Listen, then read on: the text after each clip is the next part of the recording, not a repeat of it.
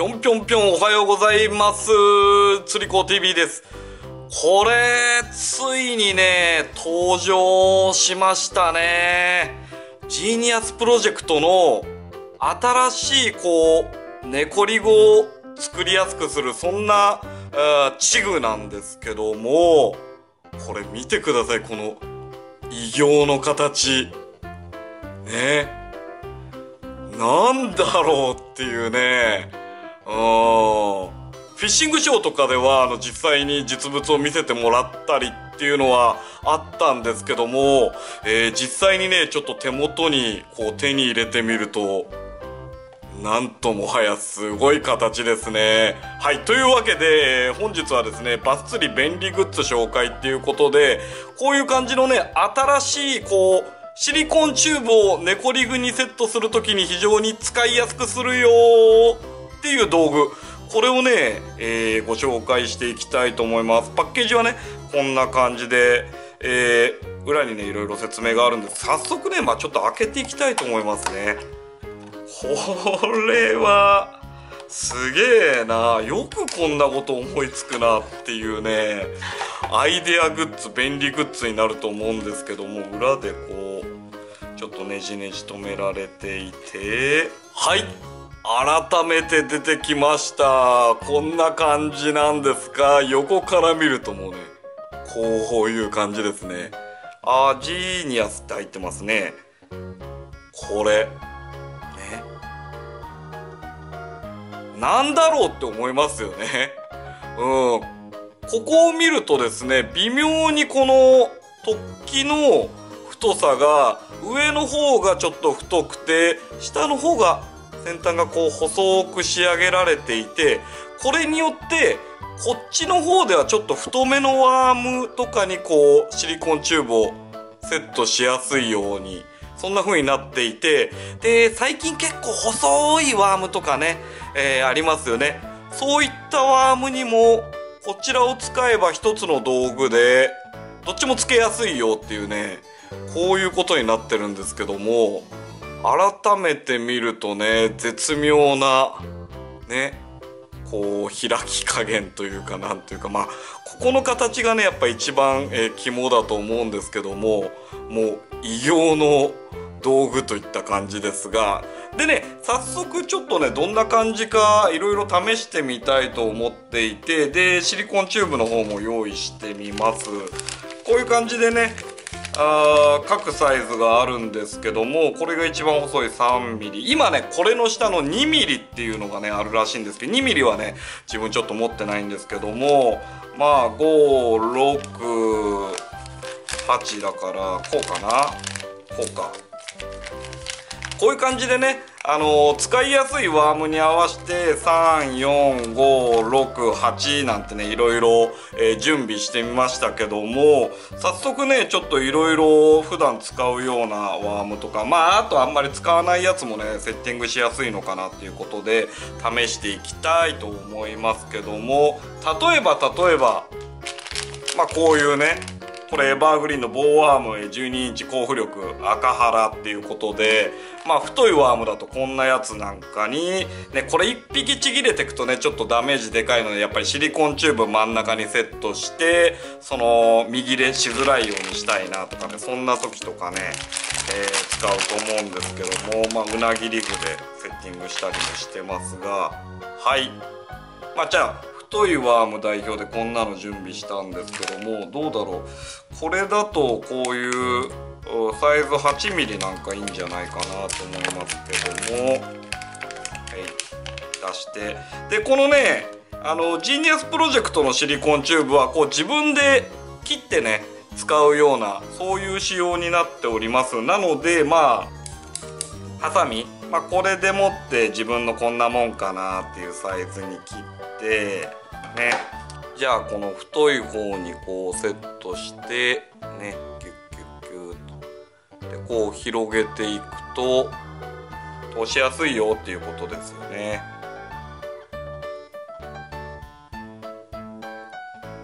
はいトゥルトゥルトゥルトゥルトゥルン。ね真ん中あたりかな。これでこのあチグを取っていくと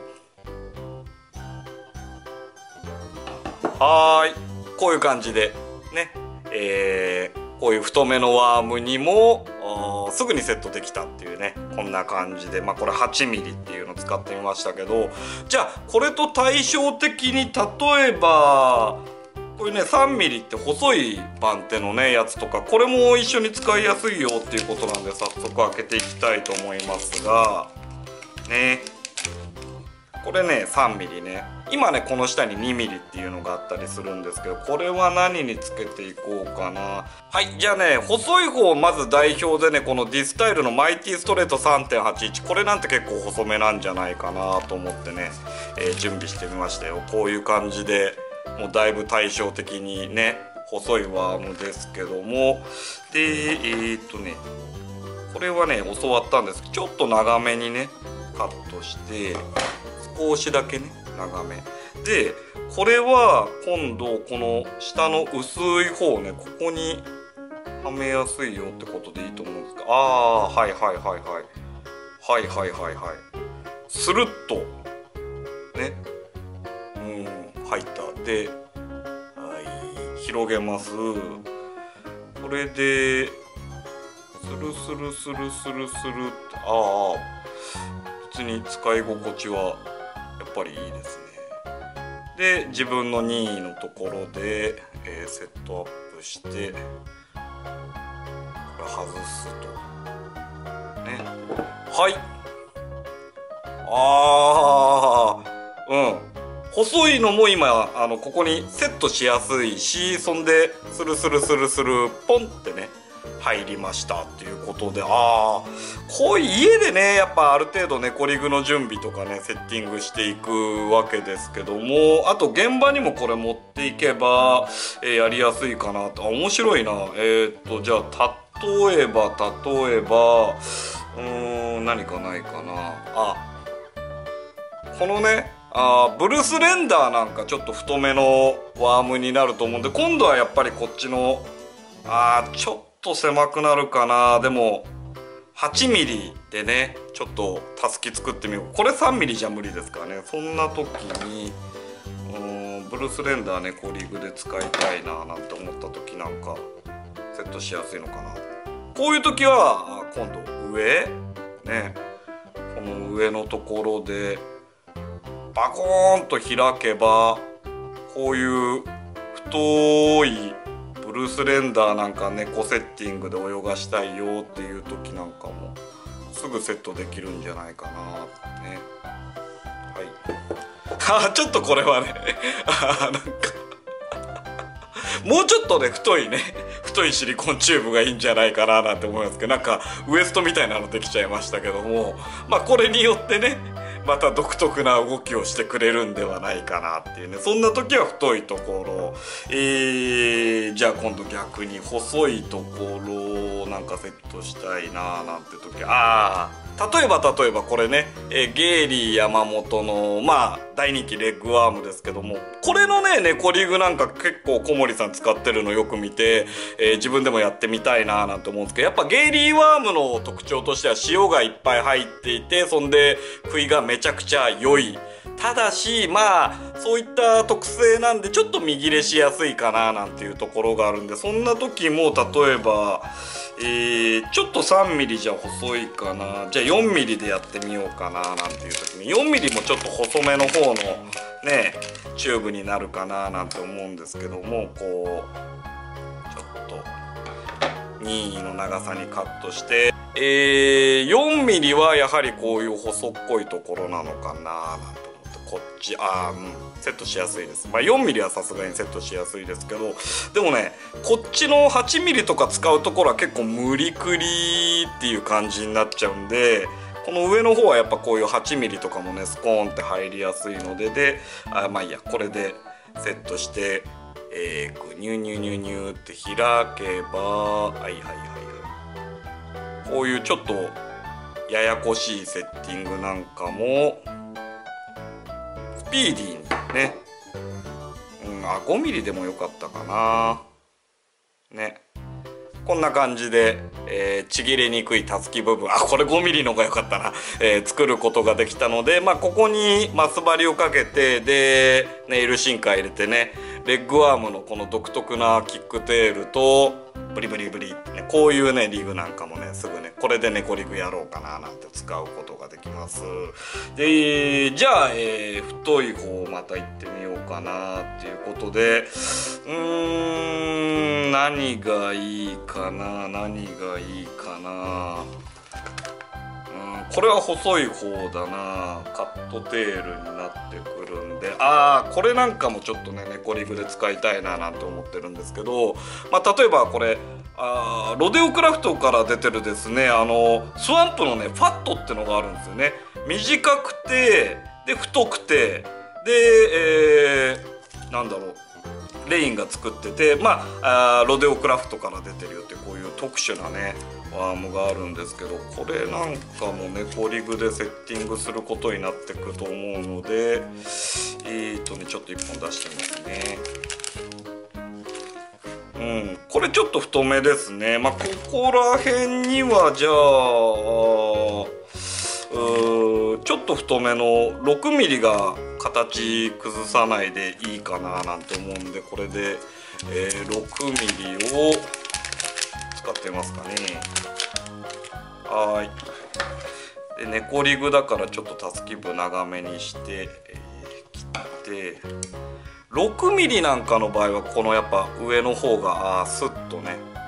セットしやすいのかな。ちょっとギュッギュッと入れてグリーンって開いてはいはいはいはいはいはい入れていってここら辺にたすきのマークが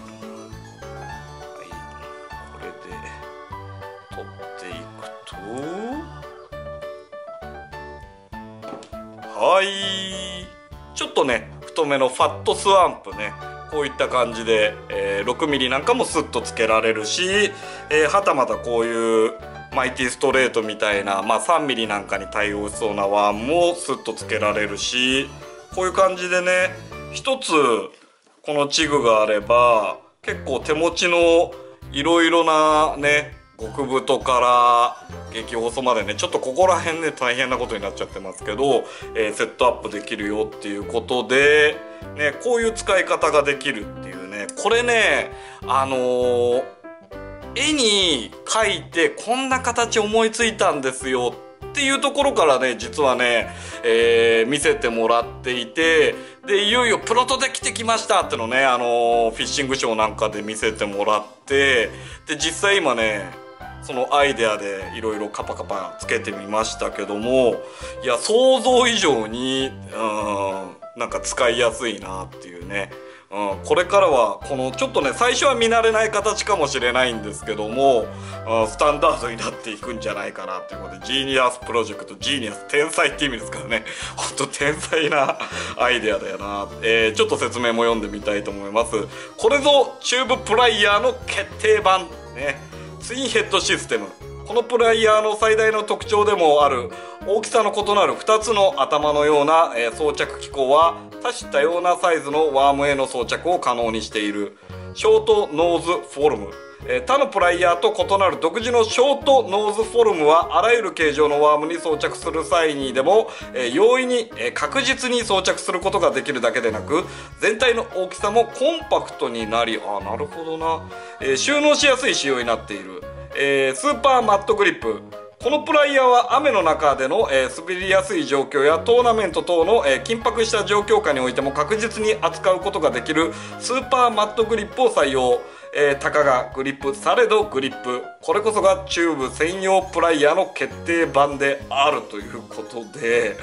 あーそっか。まあ今ねちょっとね使っていたなんか独特な握り心地だなと思うんですけどここの、ね、グリップの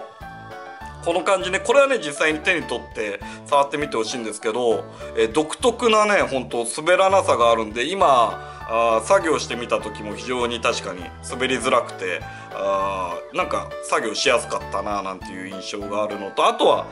ここ必要なんだろう必要最小限の長さで、えー、抑えたことによって、えー、作業がまあ確かにここが細くて長すぎるとうんうんうーんっていう感じになりそうなところなんですが今ね比較的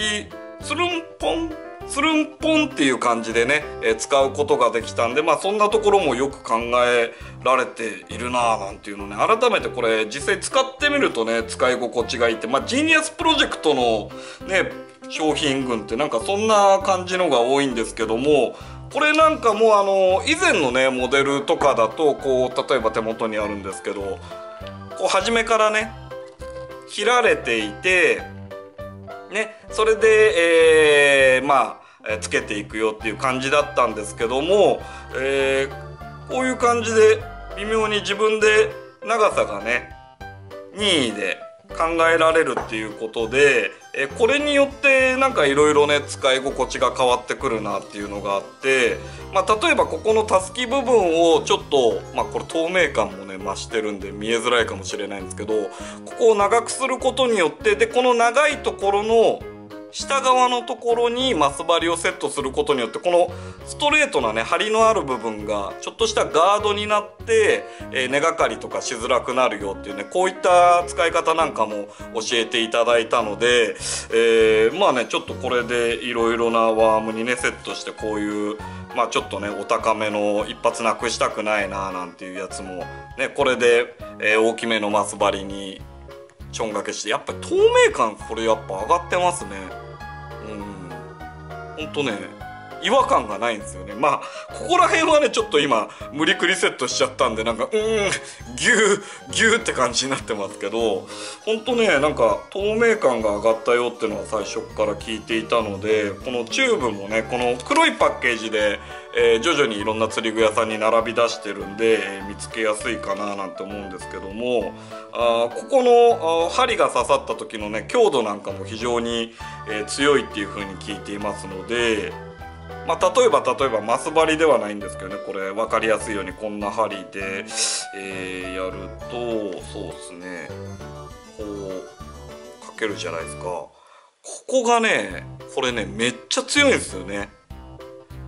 大概こういうのねあの繊維の方向によって切れやすい方向なんていうのがあるらしいんですけども詳しくはねちょっと分かんないんですけどそういうのをなくしてとにかくなくしづらいように丈夫に作ったっていうのを聞いててこう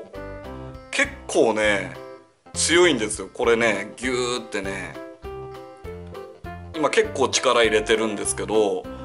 あのー、ちぎれづらい。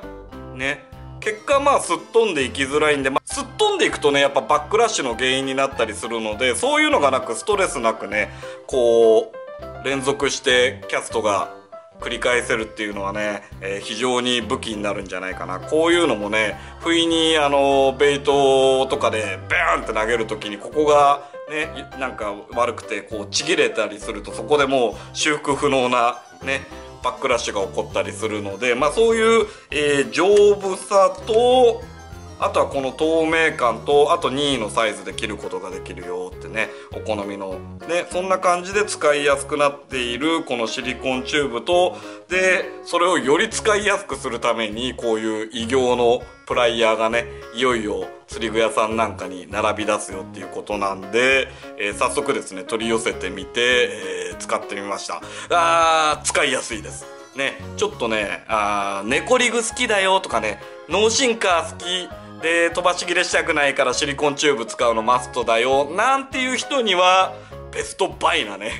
ものになるんじゃないかななんていう予感がします。はい。というわけで、えー、本日の釣り子 TV はこちら。ジーニアスプロジェクトからいよいよ登場するですね、えー、その名もシリコンチューブプライヤー。ね。これを、えー、カパカパ使ってみたよって。こういった動画でした。また会おうぜ。